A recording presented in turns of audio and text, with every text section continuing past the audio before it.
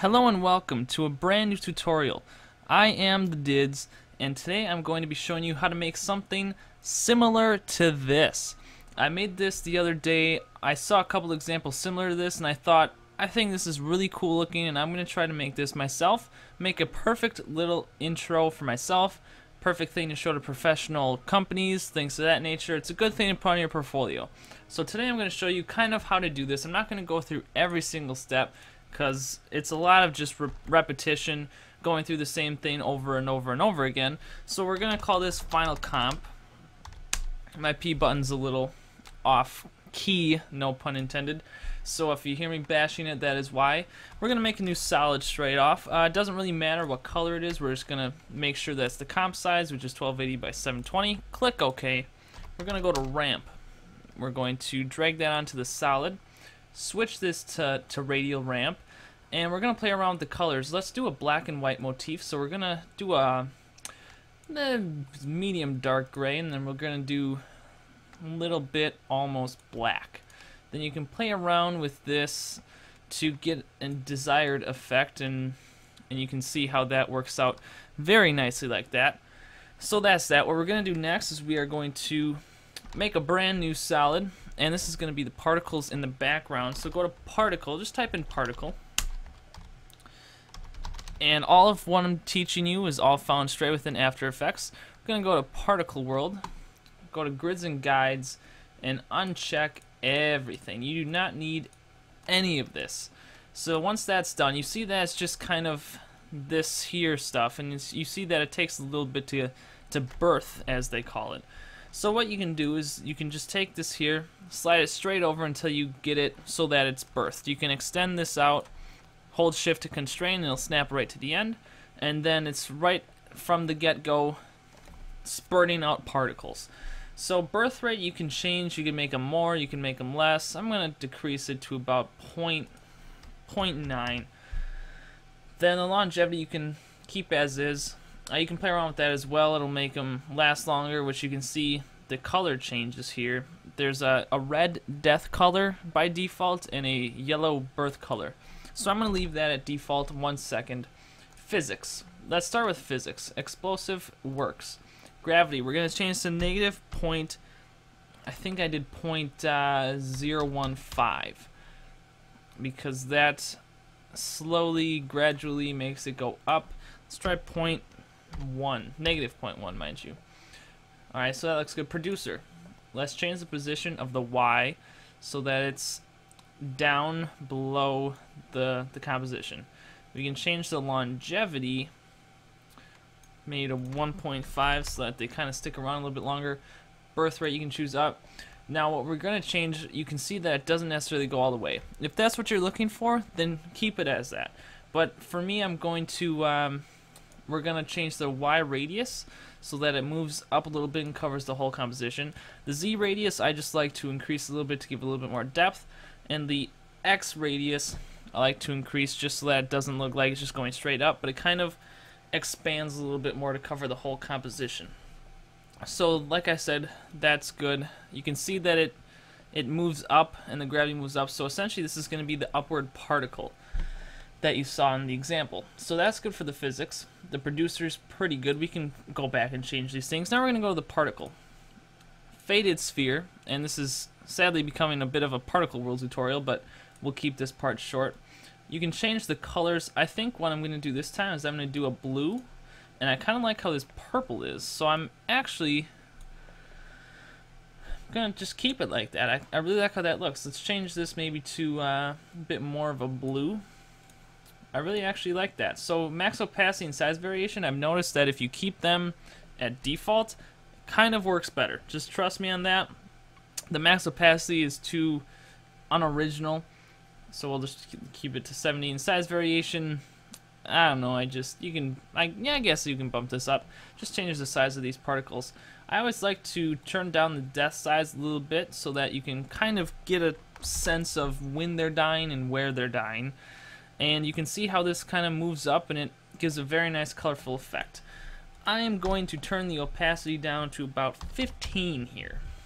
You can barely see the particles, and we'll bump it up a little bit. maybe 25. You can barely see the particles, but yet they're there. You know that they're there, and you can see this this really cool effect of, of this snowfall. So it looks really fast, and you can change it with the with the gravity settings, the velocity. But I find it a lot easier if you just right click, go to time, time stretch, and then I like to hit 300. Now you'll notice that slows it down to a third of its speed and it's it's going a lot slower. Granted the frame rate's not perfect, but if even if you go back, it still is going a lot slower and it works a lot more effectively in my humble opinion. So next up, we are going to everything else here is good. So you have your background and and everything of that nature completed. Next up, we are going to make the first text. I'm going to do uh, let me do these question marks. Um, I'll do this here. The YouTube, I'm not going to put an actual YouTube logo in. I think you guys can get the gist to find a transparent YouTube logo and so on and so forth. So we're just going to do some text. We're going to name this tutorial text. And I actually like I like the uh, the font and, and things of that nature. You can find a good font. Actually, I'm going to use Bebas Neue, or however you want want to pronounce that. So we're just gonna leave that as is. I am a fan of the align tool instead of the title action safe tool. They do the same thing, you just have to manually input the title action safe. So we're gonna bump this up and we are going to make a second text layer.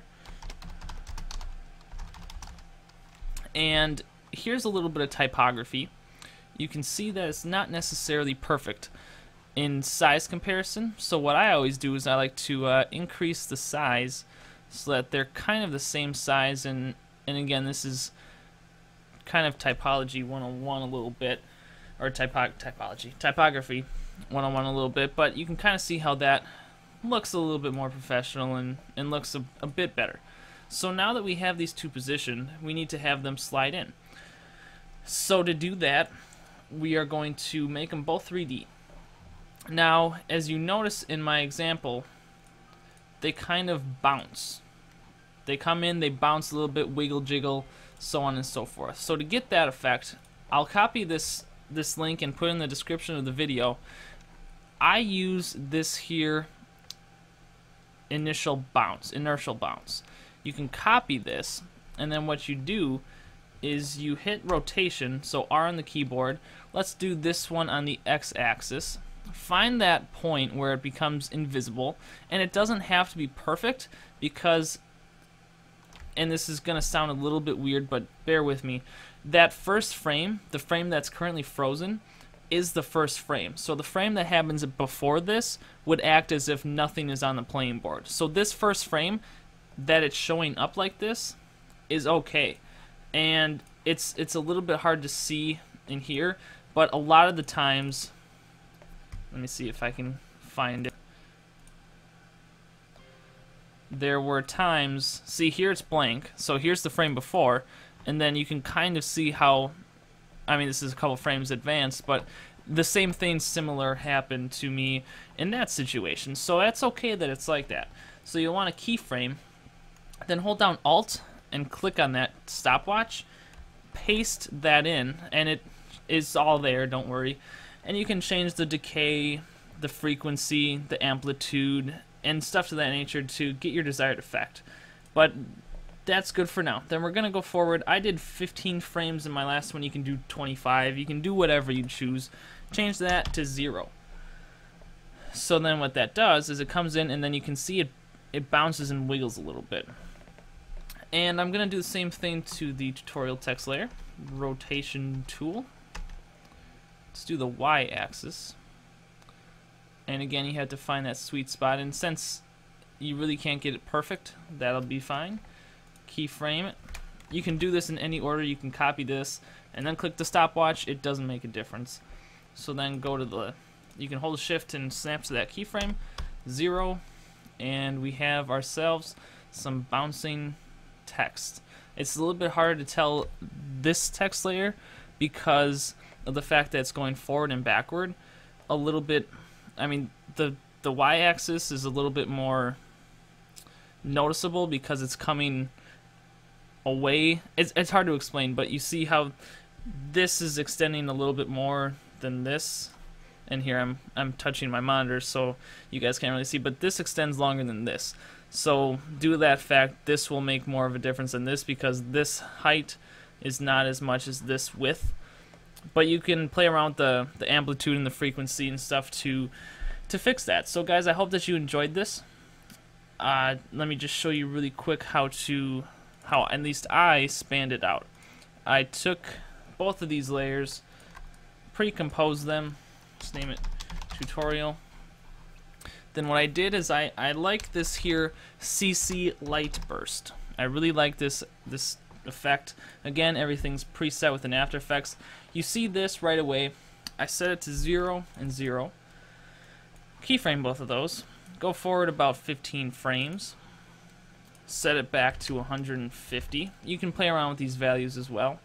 And then I also, let me uh, zoom in here. Alt plus and minus.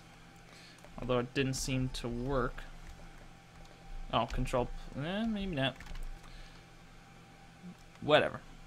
You can drag this into having a brain fart. My apologies. Okay, so here's two two seconds. I'm gonna keyframe the opacity at 100 and then at 15, keyframe down to zero. So I'm gonna give you guys a quick RAM preview, show you guys exactly what you just saw. I hope that you guys enjoyed this video and learned something. If you can use this in anything, or if you want me to make any graphics for you, just uh, leave a comment below or contact me at Dids Editing is my Skype, or theericdidier at gmail.com is my email address. Drop a like in this video. It would be much appreciated. Share this with your friends, and I really want to get into doing tutorials like this more often, so if you enjoyed this and you feel like you can use this, comment below, share it with your friends, and other than that, guys, have a wonderful day.